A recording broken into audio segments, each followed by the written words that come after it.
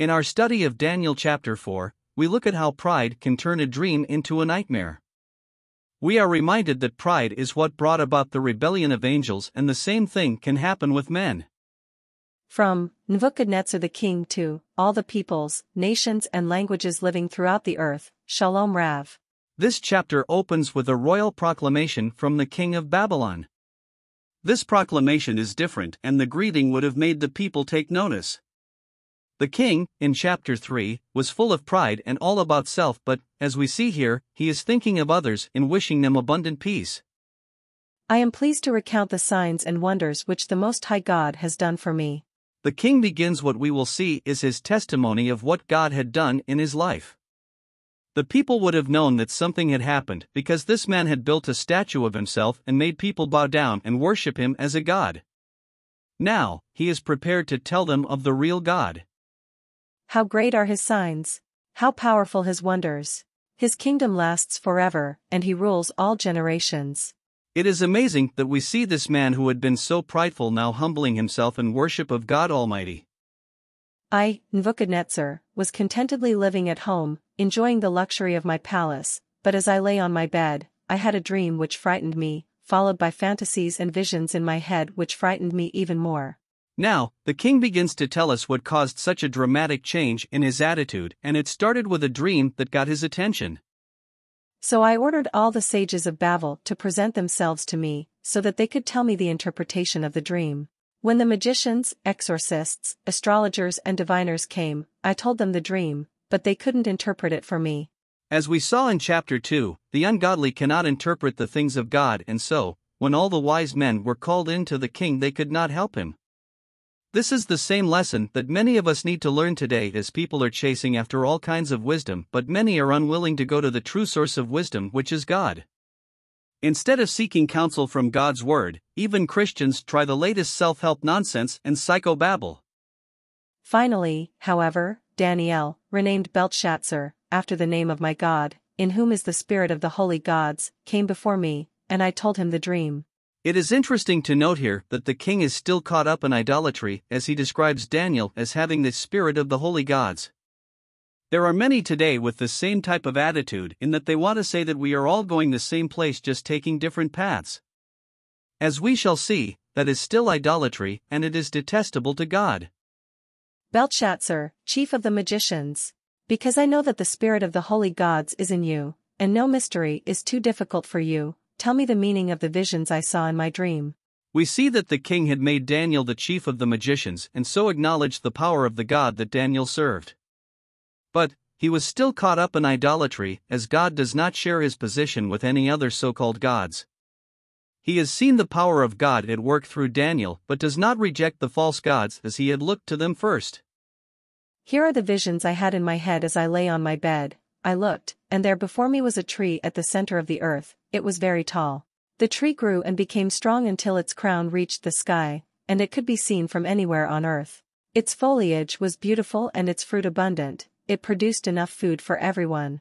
The wild animals enjoyed its shade, the birds in the air lived in its branches, and it gave food to every living creature. So far, the vision seems to be a good thing as it is a giant tree that is providing food and shelter to all. It reminds me of the tree of life described in Revelation 22, where God provides for his people, and the fact that Nebuchadnezzar was caught up in his pride and strength as he considered himself to also be a god. I looked in the visions of my head as I lay on my bed, and there appeared a holy watcher coming down from heaven. He cried out, Cut down the tree, cut off its branches, strip off its leaves, scatter its fruit. Let the wild animals flee from its shelter. Let the birds abandon its branches. But leave the stump with its roots in the ground, with a band of iron and bronze, in the lush grass of the countryside, let him be drenched with dew from the sky and share the lot of animals in the pasture. Now, we see the dream start to become a nightmare as it is decreed that the magnificent tree be cut down. Many times a tree is used as the symbol for a man in the Bible, and Nebuchadnezzar must have thought of himself as this magnificent tree. It must have shocked him to hear the angel say that it must be cut down. The good news is that they did not uproot the stump, so there was the ability for the tree to grow again. We see that the stump was restrained from growth on its own by these bands.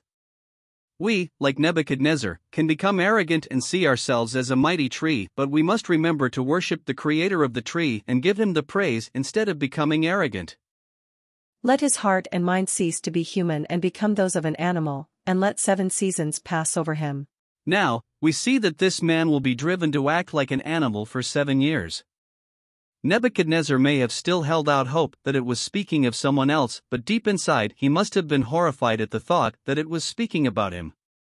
This order is issued by the watchers, the sentence is announced by the holy ones, so that all who live may know that the Most High rules the human kingdom, that he gives it to whomever he wishes and can raise up over it the lowliest of mortals. God explains the purpose of his actions, which is so that men can understand that he is in charge of all creation. Part of that being in charge is the fact that he puts whoever he wants in positions of authority. Usually, these are not the most superior of men, but they are there because of the will of God and for his purposes. This is true today as well in that God puts our political leaders in their place to fulfill his purpose, and many times they are humbled by the fact that they are being used and cannot do it on their own. This is the dream which I, King Nebuchadnezzar, saw. Now you, Belteshazzar, tell me its interpretation. None of the sages of my kingdom can tell me the interpretation, but you can do it, because the spirit of the holy gods is in you. Once again, we see that the king tries all other options before turning to the man of God. He realizes that there is something special about Daniel, but he still does not acknowledge the hand of the one true God. Like Daniel, many times people will know that we, Christians, are different. They will see the power of God displayed and still not acknowledge Him.